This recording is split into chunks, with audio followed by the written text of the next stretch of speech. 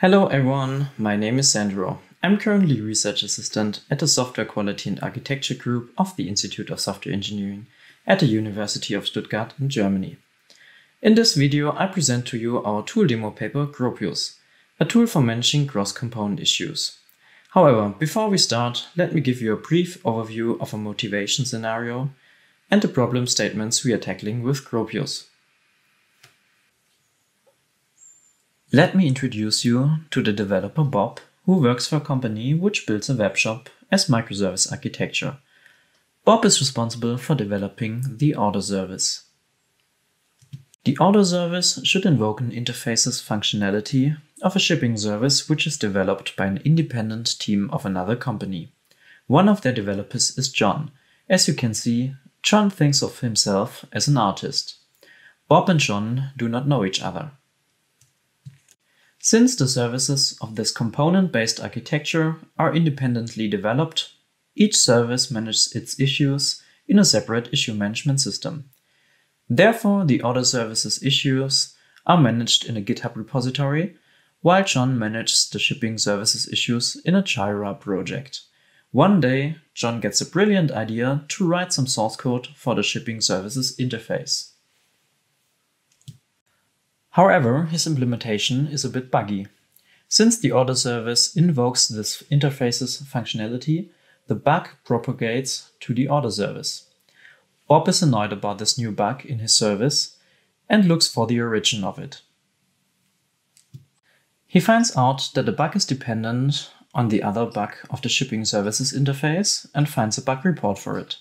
However, since both services manage their issues independently in different systems, Bob cannot link his bug report semantically to the shipping services bug report in the Jira project.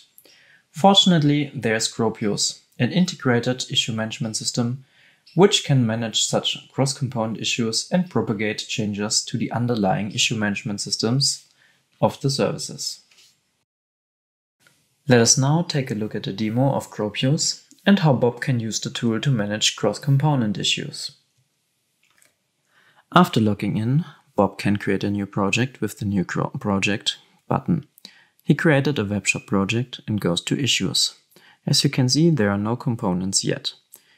Bob creates a new component with the New Component button. He provides a name for the component, in our case the order service, a description, who the owner is.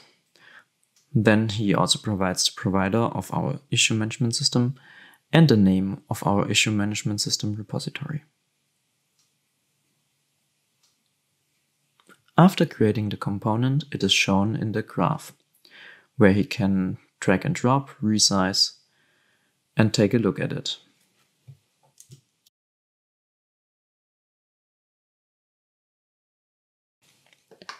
Bob created two components, now he wants to connect them. Via drag and drop, he can create an interface for the shipping service. He provides an interface name, which is the description of which interface we have here. Per drag and drop, he can move the, the interface, and also per drag and drop, he can connect the order service to the shipping services interface. After creating more components and connecting them to each other, he can filter in the graph for feature requests or bug reports. You can click on an interface to show the interface node, to create a new issue for the interface, or take a look at the interface. This is bugs. You can also click on each component to show all bugs or create new bugs. As you can see, this works for every component.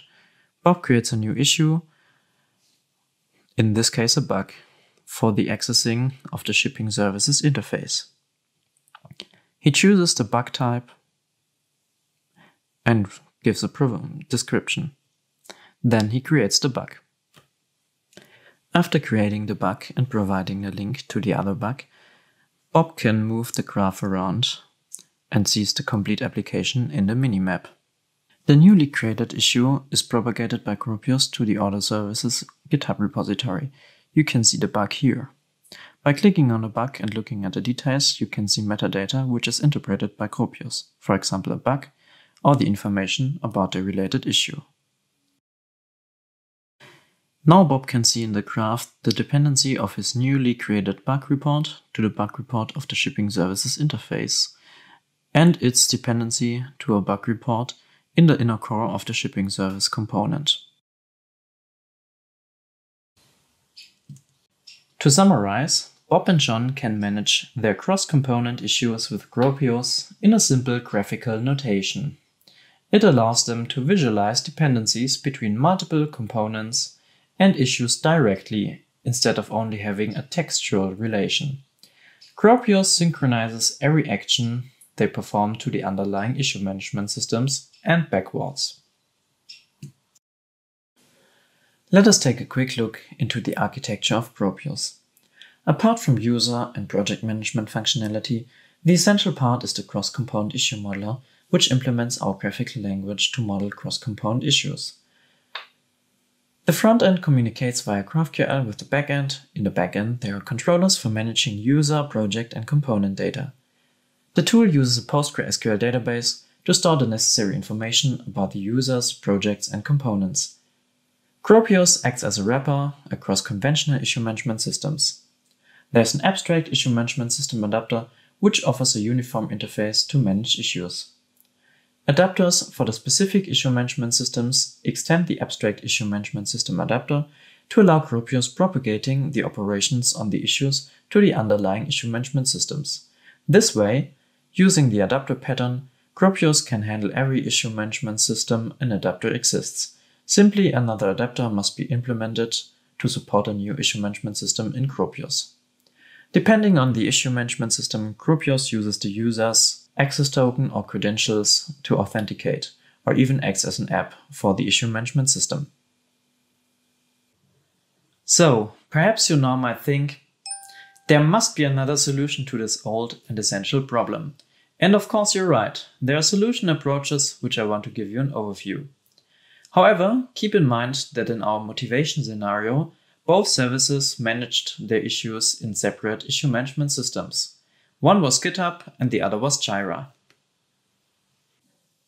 Due to time reasons, I only can present the most promising solution approaches proposed in related work, Jira and Redmine forums. One solution is to create a joint Redmine task for all projects and subtasks for the respective affected projects. However, this solution is only feasible if all projects are handled in the same Redmine project. In such a case, you can additionally use Redmine's related issues, which can model dependencies between issues of the same project.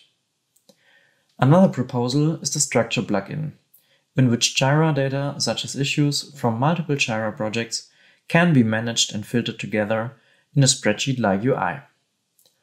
A significant disadvantage of this plugin is that ownership permissions are required for each project, which is usually not applicable in component-based systems. The Jira plugin Backbone Issue Sync allows the synchronization of an issue across multiple Jira projects. A similar plugin is the Multi-Project Picker, which removes the limitation that an issue can only belong to one project. Instead, an issue can be assigned to multiple projects using comma-separated project names in a form field. However, both plugins are limited to Jira. Other issue management systems like GitHub or Redmine are not supported.